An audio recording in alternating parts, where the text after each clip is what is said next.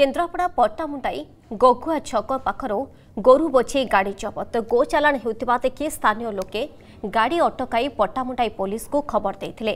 Police ଘଟଣାସ୍ଥଳରେ ପହଞ୍ଚି ଗୋରୁ ବୋଝେଇ ପିକଅପ୍ ଭ୍ୟାନ୍ ଜବତ କରିବା ସହ ତିନୋଟି ଗାଈକୁ ଜବତ କରିଛି। ତେବେ ଘଟଣାସ୍ଥଳରୁ ଡ୍ରାଇଭର ଫେରାର ହୋଇଯାଇଥିବା ଜଣାପଡ଼ିଛି।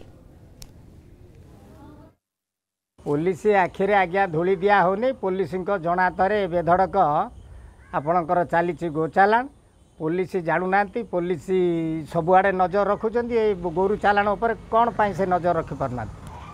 ତେଣୁ ଏ ବେଧଡ଼କ ଚାଲିଛି ଆ ଏ ବାବଦରେ ପ୍ରଶାସନ ସ୍ତରରେ ଆମେ ବହୁତ ମଧ୍ୟ ଆଲୋଚନା ସମାଲୋଚନା କରିଛୁ ଏବଂ କହିଛୁ କୌଣସି ତା'ର ସୁଫଳ ମିଳୁନାହିଁ ସେମାନଙ୍କ ଠାରୁ ଚାନ୍ଦା ଆଦାୟ କରି ଏମାନେ ଯାହା ପୋଲିସ ବାଲା ତାଙ୍କୁ ଛାଡ଼ି ଦେଉଛନ୍ତି ଆଉ ନହେଲେ ସେ ଜାଣୁନାହାନ୍ତି କେମିତି ଏଠୁ ଚାଲାଣ ହେଇଯାଉଛନ୍ତି ଗୋରୁଗୁଡ଼ା ଯାଉଛନ୍ତି କ'ଣ କ'ଣ ଶୂନ୍ୟରେ ଉଡ଼ି ପଳାଉଛନ୍ତି ପ୍ରତ୍ୟେକ ଦିନ ଗୋରୁ ଚାଲାଣ ପଟ୍ଟାମୁଣ୍ଡିରେ କରାହେଉଛି।